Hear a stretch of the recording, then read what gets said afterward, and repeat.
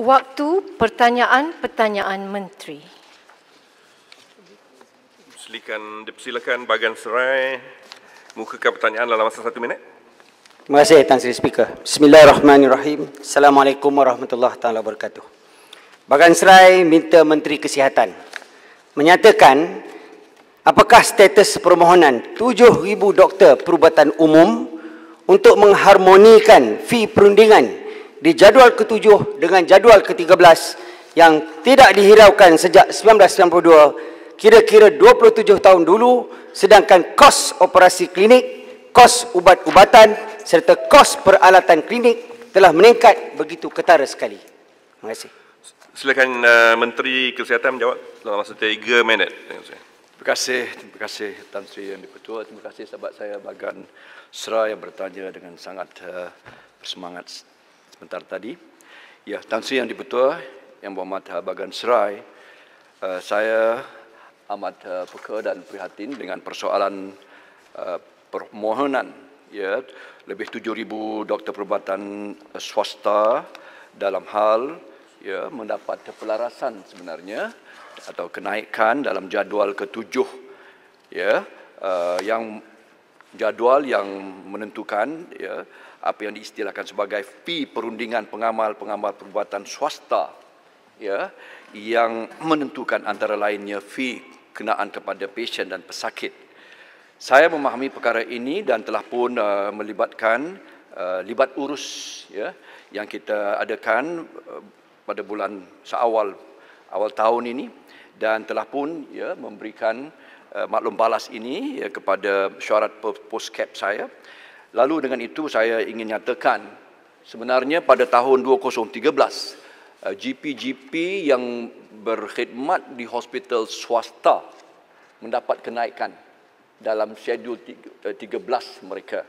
Ya, schedule jadual 13 adalah jadual yang menentukan fee uh, di hospital-hospital swasta dan bersekali dengan itu GP-GP swasta mendapat yang bekerja dalam ED emergency department mereka mendapat pelarasannya tahun 2013 sementara kawan-kawan mereka 7000 lebih yang mereka ini dalam klinik-klinik swasta tidak mendapat pelarasan itu. Isunya adalah ketika mana ya perkara ini saya perhatikan dan mohonan permohonan dibuat saya mengangkat ya perkara ini dalam satu memorandum kepada jemaah menteri pada 24 April tahun ini dan langsung diputuskan oleh jemaah menteri supaya cadangan ini diberikan diangkat kembali dibincangkan seterusnya secara lebih teliti dalam majlis tindakan kos sara hidup ya.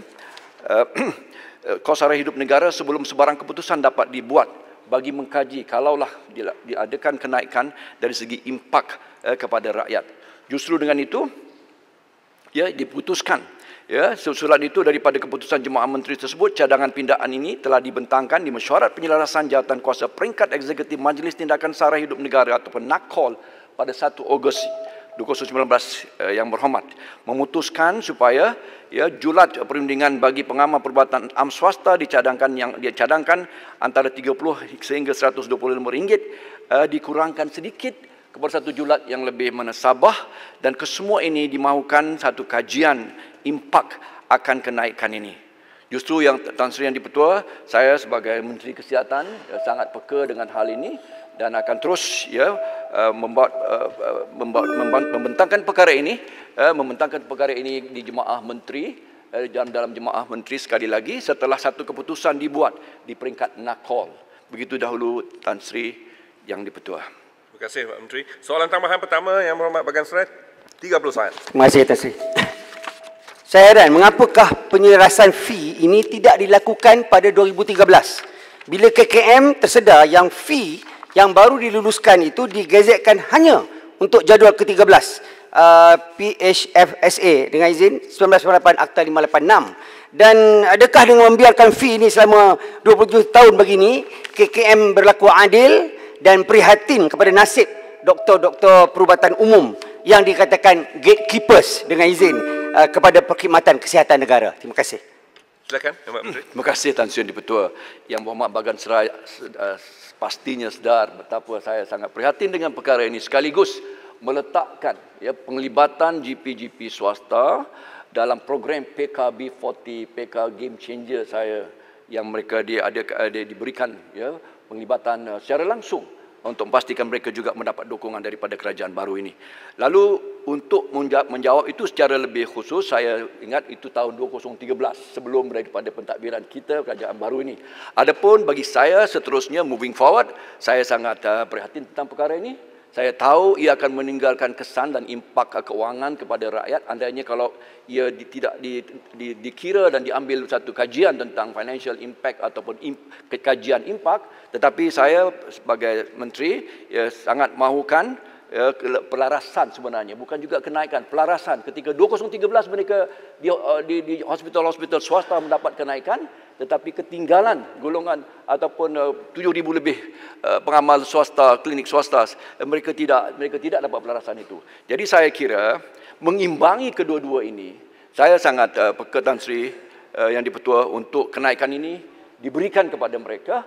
Sementara jumlah kenaikan itu diteliti dengan baik dan tidak uh, di apanya ni diteliti dengan baik supaya kesan dan impak kepada di, uh, pada pada CPI ataupun indeks uh, uh, indeks pengguna ya indeks harga pengguna itu dapat kita uh, memahami sejauh mana impaknya itu. Jadi oleh kerana itu saya yakin ya pihak uh, GP swasta juga memahami daripada perspektif saya dan memberikan saya sedikit waktu lagi setelah nakol akan nanti atau, ataupun jawatan kuasa peringkat eksekutif Majlis Tindakan Sara Hidup Negara akan sekali lagi bersidang dalam bulan November ini yang Muhammad Bagan Serai uh, saya yakin perkara itu akan dapat dirumuskan uh, dengan baik dan dengan berkesan. Terima kasih Yang Muhammad. Terima kasih. Soalan tambahan kedua eh, silakan uh, Rantau Panjang.